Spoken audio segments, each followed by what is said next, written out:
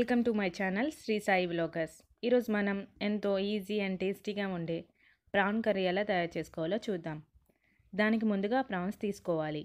ప్రాన్స్ని వీడియోలో చూపించిన విధంగా ఒకదాని తర్వాత ఒకటి ఒలుచుకొని పక్కన పెట్టుకోవాలి. ఆ ఒలుచుకున్న ప్రాన్స్ అన్నింటినీ మూడు లేదా నాలుగు సార్లు చక్కగా కడుక్కొని ఒక ప్లేట్లోకి తీసుకొని పక్కన పెట్టుకోవాలి. ఇప్పుడు కర్రీకి తగినంత చింతపండుని నానబెట్టుకొని పక్కన పెట్టుకోవాలి. ఆపిల్ని కూడా ఈ విధంగా కట్ చేసుకొని పక్కన పెట్టుకోవాలి.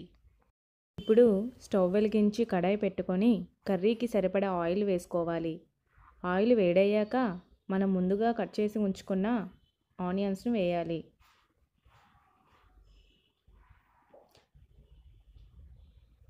తర్వాత కొంచెం పసుపు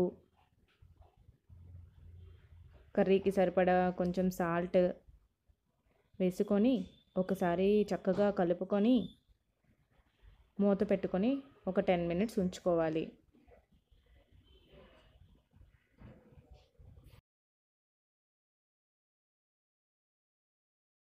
చాలు తర్వాత మూత తెరిచి చూస్తే ఆనియన్ చక్కగా ఉడికి ఉంటుంది.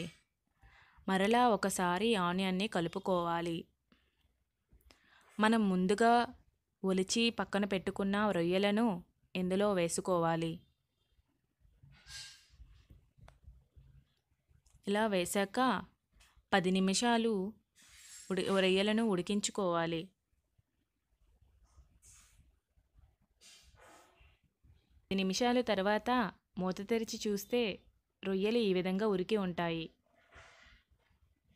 మరలా కర్రీని ఒకసారి చక్కగా కలుపుకోవాలి.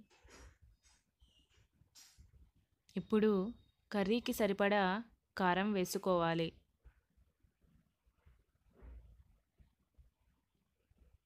అలాగే మనం ముందుగా ప్రిపేర్ చేసి ఉంచుకున్న చింతపండు గుజ్జును కూడా వేసుకోవాలి.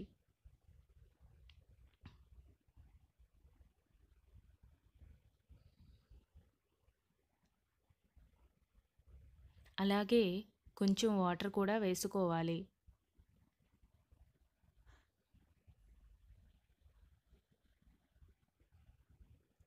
వేసుకొని చక్కగా కలిపి పది నిమిషాలు మూత పెట్టుకొని ఉంచుకోవాలి. పది నిమిషాల తర్వాత కర్రీ ఈ విధంగా దగ్గరికి అవుతుంది.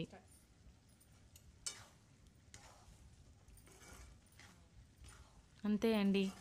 ఈ విధంగా చాలా ఈజీగా టేస్టీ టేస్టీ ప్రాన్ కర్రీ ఇంట్లో తయారు చేసుకోవచ్చు. ఈ వీడియో కనుక మీకు నచ్చినట్టయితే ప్లీజ్ లైక్ సబ్స్క్రైబ్ నోటిఫికేషన్ కొరకు గంట సింబల్ని నొక్కండి. Thank you for watching